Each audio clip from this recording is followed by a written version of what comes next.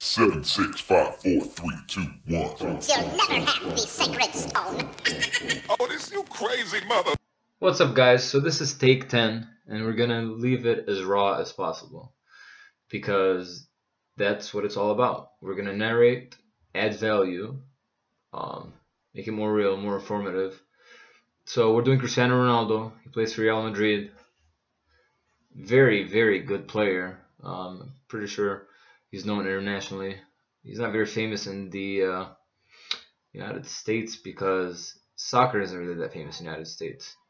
But here's how we made this. So basically, I outline and then I try to imagine how the shading, how the filling will look like, and I will take my time. If you don't have steady hands, that's like a natural problem that's gonna kind of get in your way every single time you draw. But uh, my advice would be try to take your time and try to control your breath because um, the more or the faster you breathe, you know, the shakier your body or physically you are.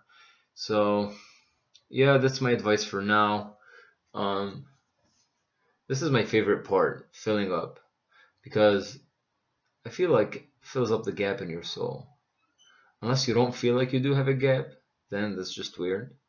But of course, we want all the weird people watching um, the content, and um, you know, I hope I hope people are learning from this. If they do want to wood burn or or into this, um, if you just are watching for you know fun and curiosity, I'm gonna be narrating all videos almost from now on.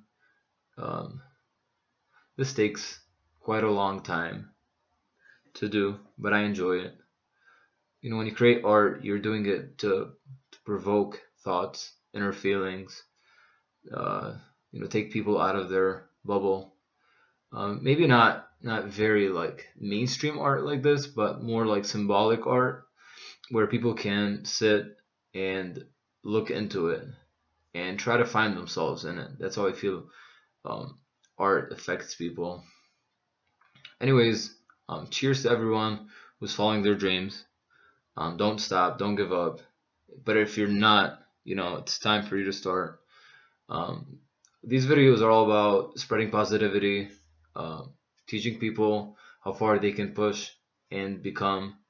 And uh, please share and subscribe if you enjoy them and support my channel.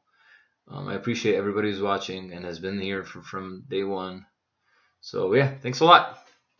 Have a good day, my friends.